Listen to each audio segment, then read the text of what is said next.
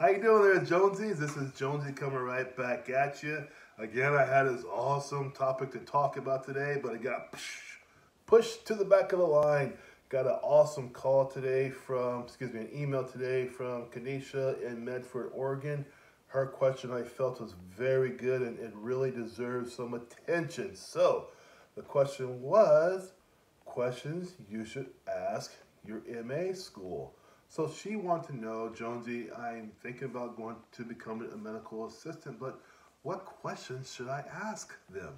I thought this is this is important, you know, because I wish I had this back when I went to school. Someone here on video to tell me about the pitfalls, uh, the truth, some of the not so much truth, you know. Uh, you got to understand whether it's an MA school, a university, Harvard, doesn't matter, UW, University of Penn State, it doesn't matter what school it is there's always going to be some, we call, I call it 80-20. 80% truth, 20% BS. They all do this because they're all recruiting. It's like when you go buy a car. 80% will be truth, 20% will be BS coming from that person's mouth. That's how it works. So her question is valid because she has some concerns. And so, uh, Keisha, I want to tell you about these. Uh, I want to answer some questions that I think are pertinent uh, for you when you go to these um, schools, whether you're talking to them via online, like Zoom, or in person, or on the phone, these are questions you want to ask and make sure you get the answers to. First question is, are you an accredited school? This is important. There is no middle ground there for this answer. They either are or they are not. There's nothing in between with that question. Understand? When you're at a green light, uh, when you go to a green light, it's green you go. Red light may stop, same thing. Are you an accredited school? Same thing. You should hear an acronym such as CAAHEP, that's an accreditation uh, uh, body. Also ABHES, another accreditation body.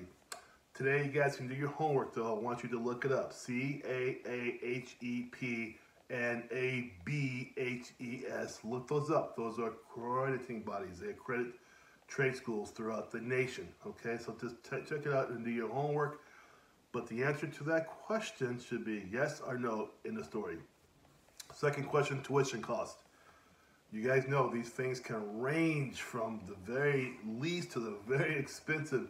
You've got to find a happy medium where you think via your research what an MA school should cost you, and you go from there. Now, if you're getting the cost that will equal to maybe a four-year uh, degree, that doesn't make any sense when the school, you know, it doesn't make any sense. Most MA schools are at the most a year, maybe a year and a quarter, but they should not go into this crazy astronomical range for payment of dues or tuition for your education. So Make sure you check that out and make sure you ask the question. Number three is, how long is this school? That's important. I've heard anywhere from four month MAs to two year A degree MAs, somewhere in there. Now, you guys want to again check it out, do a little bit of research. How short is too short? Is four months really going to qualify you to go out there and job it hard? Probably not. Um, the most I usually hear about is nine months and more, okay? So you want to make sure you're getting the time in school so you can get the experience from the school to help you go out there and be the best that you can be okay? A number a fourth question you want to ask for sure is what percentage of your medical assistants pass the CCMA exam? This is telling for any school any university any teaching facility if more than 75% of their graduates pass the exam, like a law school, if more than 75% of their, their graduates pass the law bar, get, get their, uh, become an attorney, that's a pretty good measure of success. Same thing with most fields. You're looking at anywhere from 70 to 75% of graduates of any school should pass these tests that qualifies them to be or not to be. Same thing with your school if they if you ask them what is the percentage of passing of your MAs who come through your institution, take the CCMA, what is the percentage of passing? The answer should always be about three quarters of the class that takes a test should pass. If it's less than that, you need to ask why, what happened, or what's going on. You know, those are valid questions because you might find yourself in that boat where you're going through that school, you graduate from your MA school, now you gotta take your CCMA and you find yourself not ready for the test because you weren't prepared for it via the curriculum. Understand? So it might not always be your fault that you didn't pass that test. Maybe you were not prepared properly for it. Thus, the question you ask before you sign your name on the dotted line, how many of the MAs have passed the CCMA that come through your course? It's a perfect question. Very important uh, question here, you guys. Externship. Do you help us to get an externship? An externship is very important. So you go through school, you sweat, you just hustle, you you kick butt in school, get, get great grades, you know, you graduate from the MA school. The next step, you have to get hands-on experience, right? Well, you get that through the externship. Some schools don't, don't offer you any help with externships, and they tell you that right from the beginning. We don't offer any help.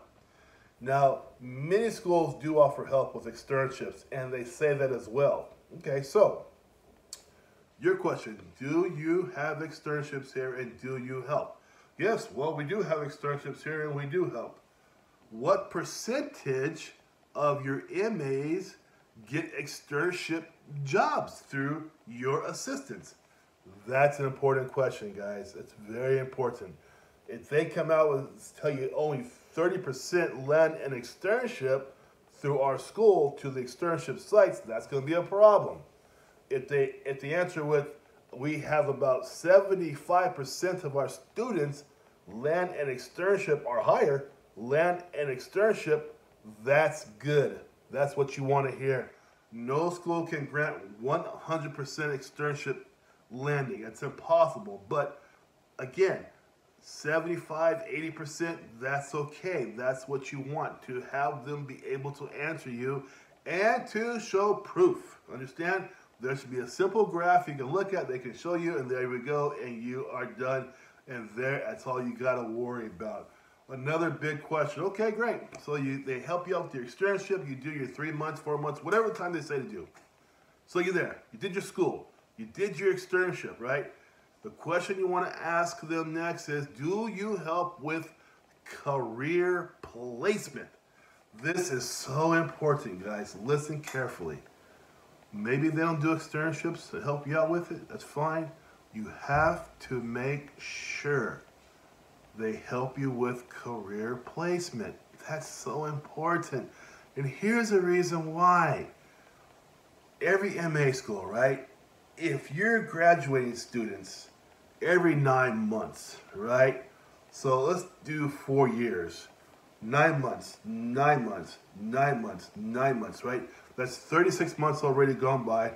That's that's a class, four classes already, plus a let's say we'll say one more class. So five classes, okay? Graduating, say 20 people in each class, right? 20, 40, 60, 80, 100. 100 people in four years, maybe a little more than four years, going out into the community looking for work. That's a lot, understand? If graduating MAs do not wish to travel further than 20 miles from their house, you're going to have what we call the oversaturation effect, where you have too many MAs who are graduated who don't get jobs because why? There aren't that many clinics to support that many graduating MAs. A lot of schools don't tell you that. I'm telling you this. You have to be able and be willing to travel outside of your area of comfort of traveling, maybe 25 miles to get to a job because these schools are churning out good people for sure, but they're all going to the same city, and thus you're having an oversaturation of medical assistants in that area. Thus, I'd say to you again, ask them do they help you with career landing? Do they help you find a job after you graduate? Very important, guys. I'm not sure who else is telling you this out there, but I'm telling you this. Make sure you ask that question. It's very important. Another biggie, financial aid. I don't know about you guys, but I don't have a couple thousand bucks just sitting in my pocket for this, for this, for this, for that. Ask them about financial aid. Understand? It's very important. Ask them how. Subsidized or unsubsidized. Those are things you want to learn about. Listen to me again and write this down and ask about it. Subsidized and unsubsidized. I'll do a video about this in the future, but for now, if you think about going to school, you need to ask this question of your of the people there, how are how is education financed? And ask subsidized or unsubsidized, okay? Another huge one you guys have to find out are the instructors real world qualified, right? Because a lot of times, as I learned when I was in university, some of my professors never had any real world experience, but yet they're teaching me about the real world.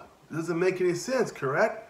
It's important your MA instructor have some actual on the job out there in the world experience because not only can they teach you about A&P, which is fantastic, they can also teach you about the environment in a medical office, what it's like to deal with patients, the doctors, the nurses, whatever comes up, they can give you that experience. You want to have a real world instructor, so ask that question. Are the instructors here all real world instructors? Oh, what does that mean? Have they had jobs besides this one here of teaching? Have they had actual paying jobs as MAs? That's what you want to ask, okay? It's very good. Last couple, we got two more guys, is a CMA training, CMA prep. Just ask them, do you guys give CMA prep? All that means, do they help you to prepare for the CCMA test? Some do and some don't, but it's a good question to ask. And also, too, you want to say, do you, last question is, do you offer hands-on training? You guys, this is important because a lot of schools are offering you online MA school. I don't know how this how this can be because you have to have hands-on with a with a patient, correct? With somebody, with with a body to do over half your work, right? I mean, if you do an online school with the with the MA school, how are they going to learn about injections and, and, and, and phlebotomy and EKGs and all that stuff? Online, I think not. So you need to ask, do you have hands-on training? Okay? Alright, I know it's another long video, guys, but I'm doing this to make sure you look out for yourselves. These are the questions if you're thinking about going into a medical assisting school, ask these questions first. Ask them all because the more you ask, the better you'll be prepared for the school. I'll tell you this again. When I was at MA some years ago, I loved it. It was wonderful. But that's my experience. And I didn't even have anybody showing me these tips I'm giving you. I just kind of went out there, ho ho, MA, had no idea. But you, I'm trying to arm you guys with the information and the knowledge you should have before you sign up to become a medical assistant. Now, I tell you, for me, it was a great thing. I loved it. But, you know, that's just my experience. But to make sure you have a good experience, that's why I'm making these videos to help you out, to show you what to expect out there and what you should be asking about, okay? All right, Jonesies, please, any questions you have, as always, send me an email. I appreciate you reaching out to me, Keisha, in uh, Medford, Oregon. I really do. For the rest of you, please comment and subscribe. I really appreciate you subscribing to this channel. Let's make it grow. Let's get informed out there, okay? You guys are awesome. Thanks a lot. This is Jonesy here. Take care.